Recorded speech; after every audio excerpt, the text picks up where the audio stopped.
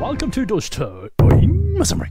I'm at World End Utopia Delta on Virtual Market 4. Today I'll show you a booth called Frank Factory Plus with the owner. Let's go. フランクファクトリープラスのチャキンと申します。アバターの名前はボッカちゃんっていう名前でして、歩くの荷物と書いてボッカ。ボッカっていうのは、あの、川越しながらの荷物を運ぶ職業がありまして、それにちなんで名前を付けました。週末でキャンプを楽しむ女の子という設定で制作しました。この子の仕事というのは、あの、配達業、車とかそういうので運ぶのが難しい特に荷物を運ぶ。Death Stranding. ってことですか。そうですね。大体そんな感じです。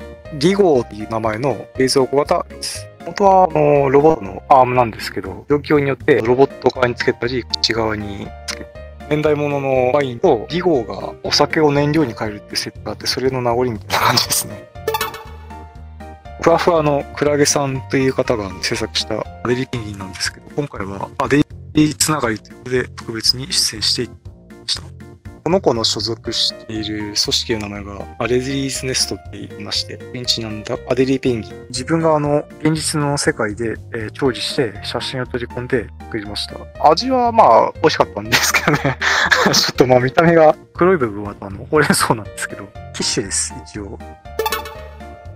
顔とか特に力を入れたので、いろんな角度からでも可愛く見えるように注意して唇に立体感ちょっと持たせたくて、ぷっくりした感じのを目指して作りました。口の動きなんかも現実寄りにできたらいいなーとか思ってちょっと試行錯誤しながらあの大変だったんですけど、あの、あんまりリアル寄りしすぎてもあんまり良くないし、まあ、二次元寄りに寄せすぎてもなんかなんか意味あるのかなーみたいな感じになっちゃうので、難しかったですね。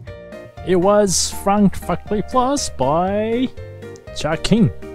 Thank you for watching. See you in next video. Thank you for watching. I hope you enjoyed this video. If you like it, please give us comment and subscribe our channel. See you in next video.